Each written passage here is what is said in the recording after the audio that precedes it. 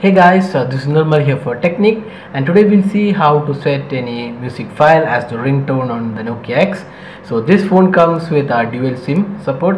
So you have an option to insert two SIM, one is a 3G SIM and one is a 2G SIM and uh, you can access uh, these SIMs from the settings.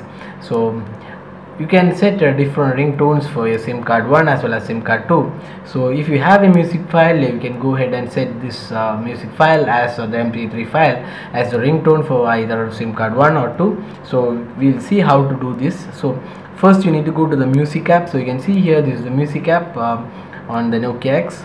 So once you open the music app you'll see all the um, all the songs uh, which are available on the uh, phone listed here now select a particular song. So you can see press to play. So from here you can see the option to press to play.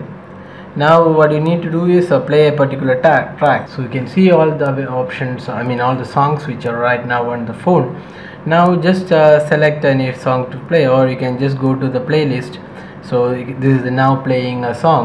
So right now it's not playing so it's it's in the now playing list. Now from here you can see a uh, icon here at the bottom so this shows you the more options. So just swipe from there.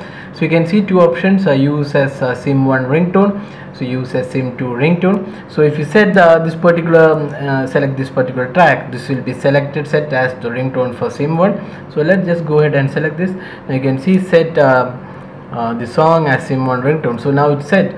So the ringtone is now set uh, for this song. So if you can go here and set this um, ring to this uh, song as a ringtone for the second uh, sim as well. So this can be done for any other song as well.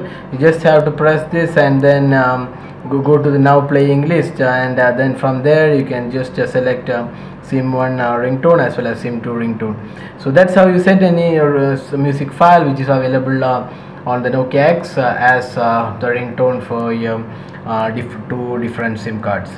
So that's all guys. Uh, is a quick tutorial on how to set uh, the ringtones from the music app. So if you have any queries drop a comment and we'll be glad to help you out. Uh, thanks for watching this video and uh, don't forget to like this uh, video and subscribe for more updates on Nokia X.